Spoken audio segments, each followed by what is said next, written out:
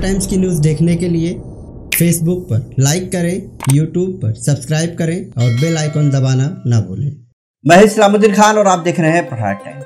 कहा जाता है कि पैसे देखकर अच्छे अच्छों की नीयत खराब हो जाती है। मुंबई के सांता क्रूज इलाके से 10 लाख रुपए एक आरोपी पप्पू नाम का अपने गाँव लेकर भाग गया। मगर उसे मुंबई के सांता क्रूज पुलिस और गोंडा पुलिस की संयुक्त सहभाग से गिरफ़्तार कर लिया गया है।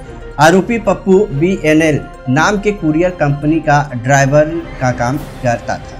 कंपनी के संचालक विजय यादव ने पप्पू को 10 लाख रुपए दिए और कहा कि इसे मलाड स्थित ऑफ़िस में रख दिया जाए। मगर पप्पू की नीयत खराब हो गई और 10 लाख रुपए लेकर ये अपने गाँव गोंडा ज़िले के खरगुपुर भाग गया। इसकी शिकायत सांता क्रूज पुलिस स्टेशन में दर्ज कराई और सांता क्रूज पुलिस ने गोंडा पुलिस से इसके बारे में संपर्क किया और यूपी के लिए रवाना गोंडा पुलिस प्रभारी खरगोपुर अशोक कुमार की टीम और सांता क्रूज पुलिस के सहायक पुलिस निरीक्षक बालकृष्ण कंसे और पुलिस नायक सावंत और पुलिस नायक गणेश शिवकांत ने आरोपी पप्पू को गिरफ़्तार किया और इसके पास से 10 लाख रुपए भी बरामद जनपद गोंडा, आज आपके सामने Maharashtra police Santacruz police station से एक मुकदमा लिखा गया था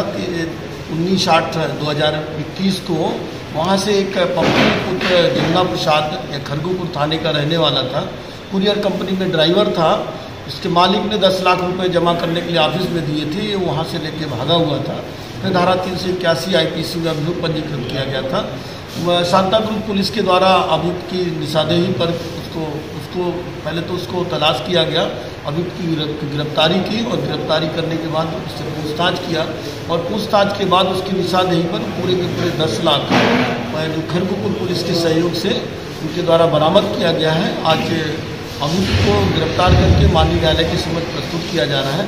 आगे जो भी है विधिक कार्रवाई की जा रही है। क्या नाम है और किस गाँव का रहने वाला है? पप्पू पुत्र जमुना प्रसाद है ये फरीदा थाना खरगुपुर का रहने